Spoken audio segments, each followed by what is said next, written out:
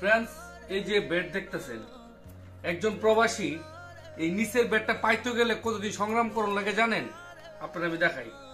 যে উপরে ঘুমা, যতদিন পর্যন্ত নিচের লোকে ছুটিতে না যাইব, ততদিন পর্যন্ত এই উপরের লোকটা নিচে আসতে পারবে না। আমি যদি আপনাকে দেখাই, এই যে, এই লোকটা, এই যে আমি দুই দিন আগে একটা ভিডিও করে দেখাইলাম যে ছুটির থেকে আসছে আসে সে এখানে ঘুমাইতেছে।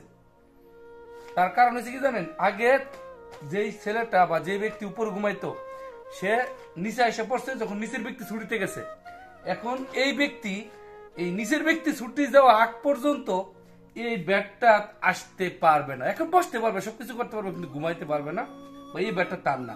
এই ব্যাগটা হচ্ছে উপরের ব্যক্তি সেম যদি আসেন এই যে নিচের ব্যক্তি ছুটিতে গেলে উপরে খালি, দেখছেন? এখন যদি কেউ ছুটিতে আসে, তাহলে সে এখানে।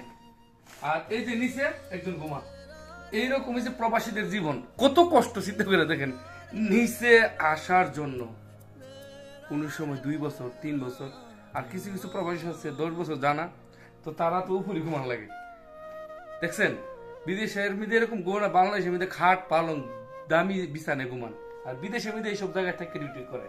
এইসব থেকে ঘুমা। বছরের পর বছর। এই বেডটির মধ্যে কোন কোন প্রবাস আছে, বিশ বছর, পঁচিশ বছর, তিরিশ বছর ঘুমা। এইসব জায়গার মধ্যে। দেখছেন?